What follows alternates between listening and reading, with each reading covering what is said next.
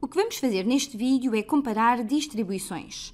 Por exemplo, temos duas distribuições que nos mostram diferentes temperaturas que duas cidades apresentam durante o mês de janeiro.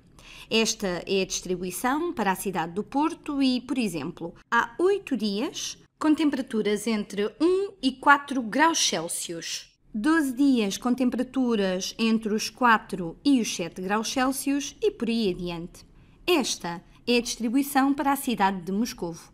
Quando fazemos estas comparações, o que vamos fazer é focar-nos no centro destes dados, no centro, e também na dispersão dos dados, na dispersão dos dados.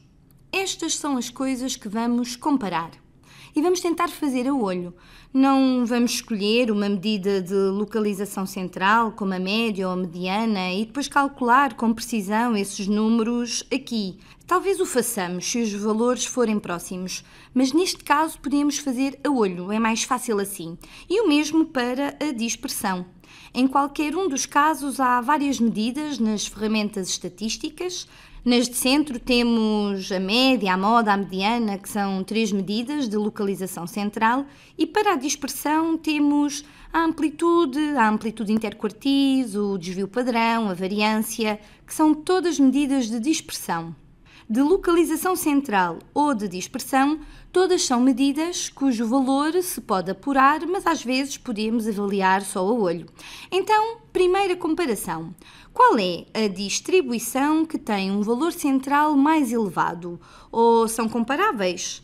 Se olharmos para a distribuição do Porto, o centro da distribuição, se estivermos a pensar na média, apesar da média e a mediana serem razoavelmente próximas aqui, parece que o centro da distribuição seria mais ou menos seria mais ou menos 7, ou talvez um pouco menos do que 7. Seria mais ou menos neste intervalo. Talvez entre o 5 e o 7 é o nosso valor de localização central, é a nossa média ou mediana. Enquanto que para a cidade de Moscovo parece que o nosso centro está mais próximo do menos 2 ou do menos 3 graus Celsius, Aqui, mesmo que não saibamos com precisão qual é que é a média ou mediana de cada uma destas distribuições, podemos dizer que no Porto a distribuição relativamente à cidade do Porto tem um valor central mais elevado, distribuição Porto tem um valor central mais elevado e até poderíamos vir a calcular a média ou mediana. E a dispersão? Se pensarmos na amplitude superficialmente, podemos ver que não há medições abaixo dos 1 grau Celsius e não há acima dos 13. Então temos mais ou menos 12 graus de amplitude aqui. Na prática, o que pode estar a contribuir para esta primeira barra pode ser um conjunto de dados entre 3 e 3,9 graus.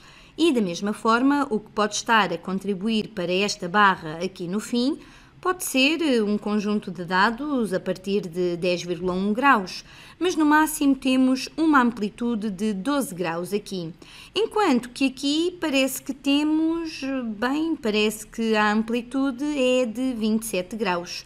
Com base nisto e mesmo fazendo a olho, até estamos a usar a mesma escala no eixo horizontal para o eixo das temperaturas, percebemos que esta é uma distribuição muito mais dispersa comparativamente com a que vemos aqui.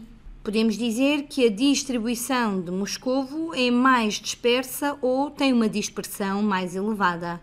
Dispersão mais elevada. Dispersão mais elevada aqui. Vamos fazer outro exemplo. Vamos usar um tipo de representação diferente de dados. Este exemplo diz-nos que nos Jogos Olímpicos Muitas modalidades têm várias eliminatórias de competição. Uma dessas modalidades é o estilo 100 metros costas na natação. O gráfico de pontos mais acima mostra os tempos, em segundos, do top 8 da final dos Jogos Olímpicos de 2012. Este gráfico verde aqui é a final. E o gráfico de pontos mais abaixo mostra os tempos dos mesmos 8 nadadores, mas na semifinal. Dadas estas distribuições, qual delas tem um valor central mais alto? Mais uma vez, e aqui conseguimos ver a mediana facilmente, a olho. Para a média precisaríamos de um pouco mais de contas, mas a mediana vamos ver.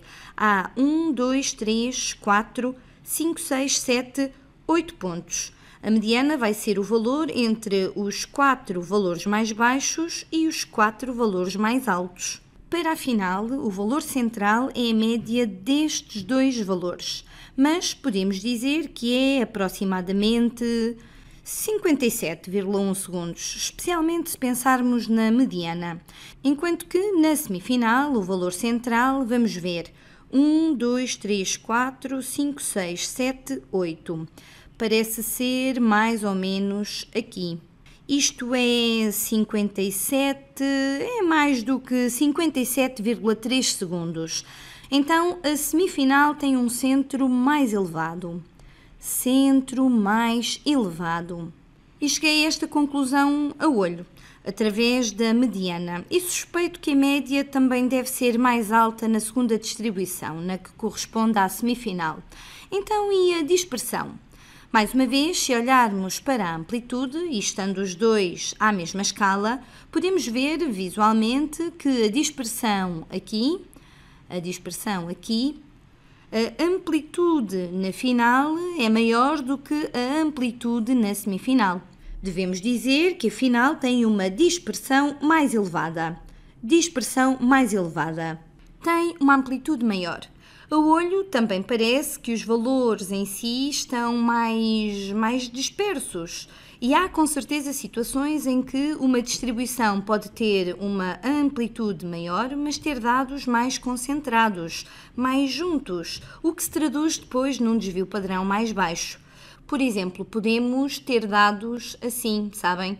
Dois pontos que estão muito afastados, mas os outros pontos estão muito, muito próximos. Por exemplo, uma distribuição assim. Vou desenhar o eixo horizontal, só para imaginarem isto como uma distribuição. Uma distribuição assim pode ter uma amplitude maior, mas um desvio padrão mais pequeno do que numa distribuição assim. E vou, vou só desenhar um exemplo muito rudimentar. Uma distribuição assim com uma amplitude menor, mas com um desvio padrão maior, porque os dados estão mais dispersos, mais afastados. Esta tem um desvio padrão maior do que a de cima. Ainda posso fazer melhor, uma distribuição assim. Esta deverá ter uma amplitude mais pequena, mas também terá um desvio padrão maior. Então, não podemos olhar só, nem sempre acontece que, olhando apenas para uma destas medidas, a amplitude ou o desvio padrão, que se tem certezas acerca da outra medida, mas neste caso é seguro dizer, quando estamos a olhar de forma visual apenas, vejam, aqui nesta distribuição a verde, os dados da final parecem ter uma amplitude maior e também um desvio padrão maior, e por isso sinto-me bem com a avaliação que fiz.